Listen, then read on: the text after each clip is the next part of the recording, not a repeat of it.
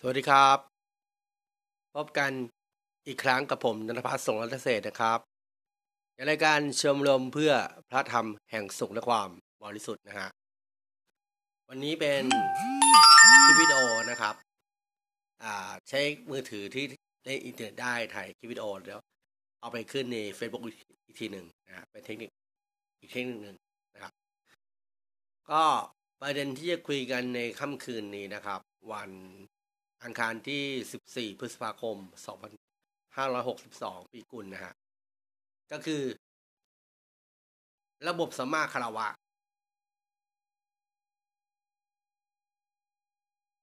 ในสังคมไทย เกิดขึ้นมาได้อย่างไรนะครับ ระบบสัมมาคารวะเนี่ย ที่ให้เรา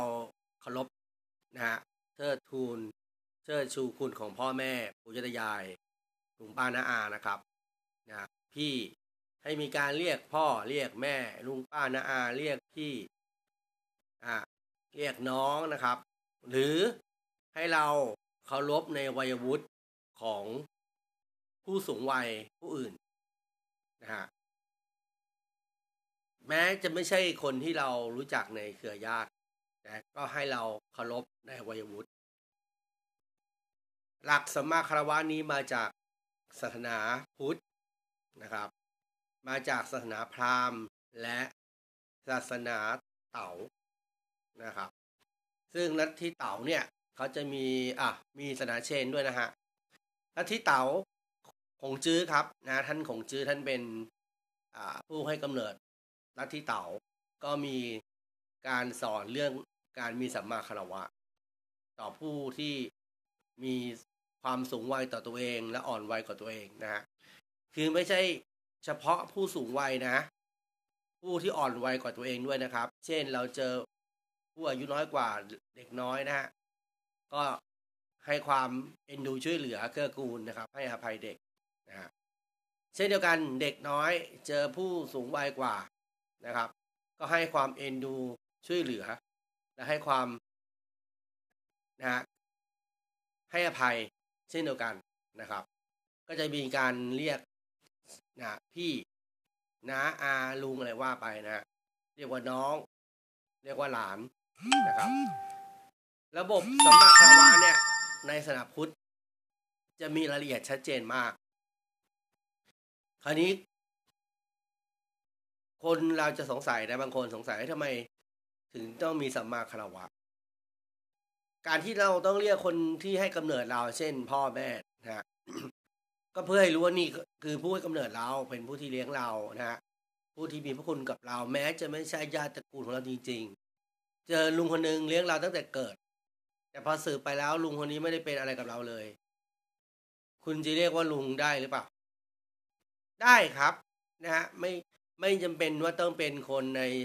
ญาติตระกูลเดียวกัน ดีเอยีนพันธุกรรมเดียวกันนะฮะ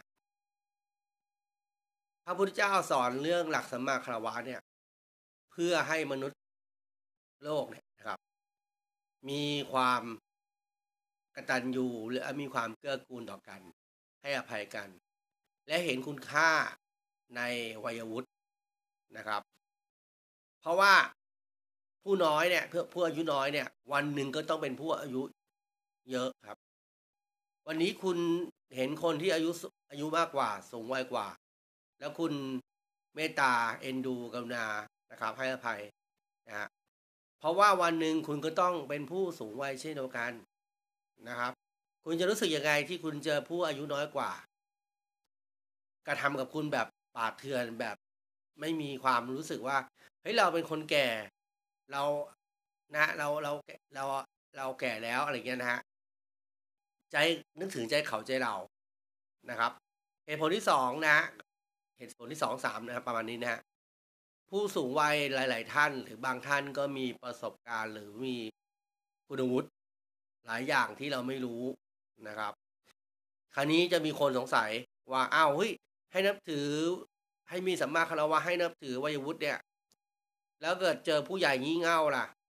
เอาแต่ใจเอาแต่อารมณ์เผด็จการล่ะ พระพุทธเจ้าสอนเรื่องหลักกรรมสูตร คุณเราไปศึกษาเรื่องหลักกรรมสูตรนะครับนะฮะหลักธรรมของพระพุทธเจ้าเนี่ยไม่ไม่มีความขัดแย้งในตัวเองนะ ให้ความกรุณาเอ็นดูเกื้อกูลต่อผู้สูงวัยใช่นะหรือต่อผู้มีพระคุณใช่ แต่เวลาพิสูจน์ข้อเท็จจริง พระพุทธเจ้าสอนเรื่องกรรมสูตร พระองค์สอนแม้กระทั่งว่าไม่ให้เชื่อพระองค์ นะฮะไม่ให้เชื่อพ่อแม่ ไม่ให้เชื่อครูบาอาจารย์ อย่าเพิ่งเชื่อนะอย่าเพิ่งเชื่อพ่อแม่อย่าเพิ่งเชื่อครูบาอาจารย์นะครับ มีสิบอย่างนะฮะอ่าแล้วเชื่ออะไรล่ะ ก็ต้องเชื่อการพิสูจน์ครับ ซึ่งกรรมสูตรเนี่ย มันจะสอดคล้องกับหลักศีลธรรมข้ออะไร มันจะสอดคล้องกับหลักศีลธรรมนะมีหลายข้อนะครับ มีมุทิตาด้วยมีอุเบกขานะ มีกรุณานะครับ มีศีลธรรมข้อปฏิบัติมีศีลข้อนะฮะมุสานะครับ หรือว่าวจีสุจริตวจีทุจริตนะฮะวจีถ้าวจีไม่วจีสุจริตก็ต้องเป็นวจีทุจริตแต่พระพุทธเจ้าสอนพระพุทธเจ้าท่านทรงสอนให้เราเป็นผู้ที่มีวจีสุจริตนะฮะ แล้วทำไงล่ะ มันเกี่ยวข้องยังไงกับศีลธรรมเหล่านี้ เอ้าถ้าคุณไม่โกหกอะนะนะ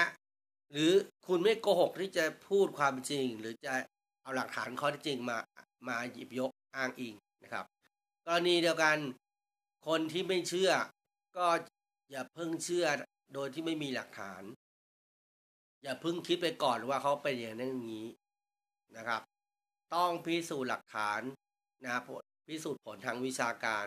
ทางข้อเท็จจริงนะมีละครหลายเรื่องนะครับ หรือภาพยนตร์หลายเรื่องที่บางทีพ่อนะแม่แม่ผัวแม่ยายนะครับพ่อตามนะพ่อผัว ตัดสินใจเหตุการณ์อะไรไปโดยที่ไม่ได้พิสูจน์ มีหลายเรื่องเหมือนกันที่นางเอกก็ไม่ได้พิสูจน์หลักฐานนะพระพุทธเจ้านั้นสอนว่าอย่าเพิ่งเชื่อสิบอย่างหนึ่งในสิบอย่างนั้น แม้กระทั่งผู้รู้ ผู้มีผู้มีความน่าเชื่อถือ แม้กระทั่งเราเห็นด้วยตานะครับ อย่างเช่นคุณเห็นแฟนคุณยืนอยู่กับผู้ชายคนหนึ่ง ซึ่งผู้ชายคนนี้เป็นลูกหนี้ครับ มาเจอแล้วก็อดอ้อนอ้อนวอนขอให้ยกหนี้งวดนี้ไปทีเธอนะ แม่คุณจ๋าอะไรเงี้ย ก็ซื้อของมาให้ครับ เออคุณหญิงสำรวยนะกล้วยทอดนะ วันนี้ผมยังไม่มีเงินให้ครบนะครับ แต่ผมมีขนมมีดอกไม้มาให้อะไรเงี้ยประมาณเนี้ยอ้าวผมเห็นแฟนผมยืน เป็นแฟนนะยังไม่ใช่เมียนะสมมตินะ เป็นแฟนก็คือแฟนนะครับ ยังไม่มีเพศสัมพันธ์ต่อกัน เป็นเมียก็คือเมีย คือมีเพศสัมพันธ์ต่อกันนะฮะอ่าผมเห็นคุณหญิงสำรวยเนี่ยไปยืนอีออกผู้ชายคนหนึ่งที่มีดอกไม้มีขนมมาให้ โดยปกติทั่วไปคนเรามักคิดว่า อันนี้คือเกี่ยวพาราสีคือการจีบกันนะทั้งที่คุณยังไม่ดูดูเรื่องราวข้อเท็จจริงหลักฐานเลย คุณเห็นด้วยตาแล้วคุณมองในไกลๆเนี่ย แล้วคุณตัดสินใจไปเองละนะครับ อะ แล้วคราวนี้พอตัดสินใจไปเองคิดว่าคุณหญิงสำรวยเนี่ยคบชู้ หรือมีกิ๊กอ้าวคุณไม่ แล้วคุณก็ไม่เปิดใจให้คุณหญิงสำรวยเนี่ย พิสูจน์หลักฐาน อธิบายเหตุผล อันนี้นะครับ มันขัดแย้งหลักกรรมสูตรมากๆนะฮะซึ่งพระพุทธเจ้าท่านบอกให้สอนสอนให้เคารพในวัยวุฒิก็จริงนะครับเคารพในคุณวุฒิก็จริง แต่ให้พิสูจน์หลักฐานแม้ว่าจะเป็นพ่อแม่ก็อย่าเพิ่งเชื่อนะครับ เพราะว่าอะไรถ้าพ่อแม่โกหกอ้าวพ่อแม่พูดอะไรมั่ว ครูบาอาจารย์พูดเรื่องมั่วๆที่ตัวเองไม่รู้จริง หรือยังไม่ได้พิสูจน์จริง แค่เห็นมาฟังมาแล้วพูดบอกอะแฟนเราพูดอะไรที่ไม่เป็นข้อเท็จจริงไปฟังเข้ามาอีกทีแล้วมาพูด ไปเห็นมาแล้วไม่ได้แล้วก็เห็นมาแล้วตัดสินใจเองก็มาบอกนะตรงนี้มันจะสอดคล้องกับหลักสินข้อมุสาไงฮะ ว่า กับว่าข้อวจีสุจริตในกุศลกรรมบทสิบนะครับ ในข้ออุเบกขา เฮ้ยคือคนมีศีลธรรมก็ต้องไม่โกหกไงคนมีศีลธรรมก็ต้องมีกรุณาครับ อนุเคราะห์เกื้อกูล ยอมพิสูจน์กับเขา ยอมให้เขาให้โอกาสเขาพิสูจน์หลักฐานนะต้องมีความกรุณานะกรุณาให้เขาให้เขาได้ชี้แจงนะครับ มีมุทิตาถ้าเขาพูดจริงก็เออยินดีชื่นชมด้วยนะฮะอะมีใจเป็นกลางผิดก็ว่าตามผิดถูกว่าตามถูกนะครับ ตรงเนี้ย มันไม่ได้มีความขัดแย้งกันเลยคือ นับถือในวัยวุฒิเป็นอายุเป็นลุงเป็นน้าเป็นพี่เราละนะเป็นป้าละแต่ถ้าพูดไม่จริงเราก็ไม่ยอมรับในเรื่องที่เขาพูดไม่จริง แต่ไม่ใช่ไปนะไปลบหลู่ดูหมิ่นไปทำลายล้างอะไรเขาอย่างนั้นไม่ใช่นะฮะคือผู้ที่เป็นวัยผู้ที่สูงวัยกว่า ก็ต้องมีกรรมสูตรต่อผู้ที่อายุอ่อนวัยกว่า เช่นเดียวกัน นะครับ คนพ่อคนที่เป็นพ่อเป็นแม่ก็ต้องมีกรรมสูตรกับลูกนะคนที่เป็นปู่ย่าตายายลุงป้านาก็ต้องมีกรรมสูตรกับลูกหลาน เช่นเดียวกันลูกหลานก็ต้องมีกรรมสูตรกับพ่อแม่ปู่ย่าตายายลุงป้านาอาอะพอสังคมมันประกอบด้วยหลักสัมมาคารวะนะครับนะฮะกับหลักกรรมสูตร สังคมมันก็จะไม่มีการทุจริตนะฮะ คือเอาแล้วก็นอบน้อมต่อปู่ย่าตายาย แต่ว่าปู่ย่าตายายบอกหลานเอ้ยนั่นมันตะขาบหลาน ยายมองเห็นกิ่งไม้เป็นตะขาบ ไม่ใช่ตะขาบยายนั่นมันกิ่งไม้ มันต้นไม้คล้ายๆตะขาบไม่ใช่ไม่ใช่ ยายเห็นด้วยสายตาของยายที่ฟ้าฟางเราก็ต้องทำให้ยายยายชัดเจนว่ายายเขายายสายตาไม่ค่อยดีแล้วยายมองเพี้ยนล้วก็ไปเอากิ่งไม้นั้นมาให้ดูนะไปถ่ายรูปมาเลยก็ได้นะครับ มาให้ยายเห็นเลยว่าไม่ใช่ตะขาบยายได้ครับใช่คือมันไปด้วยกันได้นะฮะคือไม่ใช่ว่าพร้อมต้องมีสัมมาคารวะปุ๊บผู้ใหญ่พูดอะไรต้องเชื่อหมดนะครับ ผู้ใหญ่จะพูดอะไรก็ต้องไม่โกหกทั้งหมดนะฮะผู้อายุน้อยลูกหลาน เวลาฟังผู้ใหญ่พูดก็ไม่ได้เชื่อทั้งหมด ก็ต้องไม่เชื่อทั้งหมดนะ ต้องพิสูจน์หลักฐานก่อนนะครับอะคราวนี้ ถ้าต่างคนก็เป็นคนที่มีกระลาสูตร ก็จะพูดแต่ข้อเท็จจริง พอสังคมมีการพูดแต่ข้อเท็จจริงนะมันก็มีแต่ความสันติสุขครับนะเช่นอ่าผมอยู่ใกล้น้องเถิกเนี่ยนะฮะผมตดก่อนคนแรกเลยพอตดปุ๊บผมรีบมองหน้ามันเลย นี่ไม่ตดนี่ตดไม่ใช่ผม อันนี้ไม่มีกลามาสูตรนะสมมติว่าคนคนคนกำลังเชื่อถือผม ยังไงคนก็ต้องเชื่อผมแหละเถิกเนี่ยไม่มีใครเชื่อหรอกนะ มันต้องไม่กล้าพูดเถียงใครนะยัดเยียดความผิดให้มันเลย อ่า ผมรีบบอกเลยนี่เถิกเป็นโตดไม่ใช่ผม เอาน้องเถิกก็รับรับมุกไม่ทันครับเออไม่นะฮะก็ก็เลยกลายเป็นผู้ อ่าผู้ต้องหาไปเลยนะครับ นะทั้งที่ ไม่ได้ตนเลยนะครับ คนที่เชื่อผมเนี่ยก็ไม่มีกระมาสูตรละเห็นไหมเชื่อได้ยังไง เพราะว่าผมน่าเชื่อถือเหรอ ไม่ได้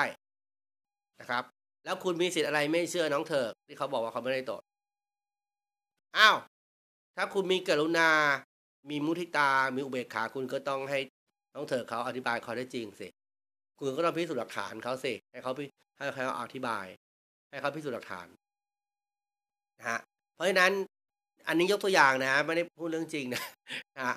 เรื่องจริง ๆ คนเรามันก็ต้องผายลมทุกวันแล้วนะนะเพียงแค่ว่าคนที่มีรูปร่างสรีระใหญ่โตมันจะผายลมบ่อย เพราะว่าลำตัวนะ มันก็สรีระมันแตกต่างกันนะครับ ถ้ามีพุงเยอะก็ผายลมง่ายนะครับนะฮะอันนี้ก็บางทีก็เกี่ยวกับเรื่องระบบขับถ่ายด้วยนะครับ การกินอาหารเข้าไปด้วยนะฮะไม่สบายด้วยนะครับ อ่าขอจบเรื่องราวนะฮะกลามาสูตรกับสัมมาคารวะเอาไว้แค่นี้นะครับ เดี๋ยวเพราะว่าเดี๋ยวจะเอาขึ้น Facebook ทีหนึ่งนะฮะสวัสดีครับ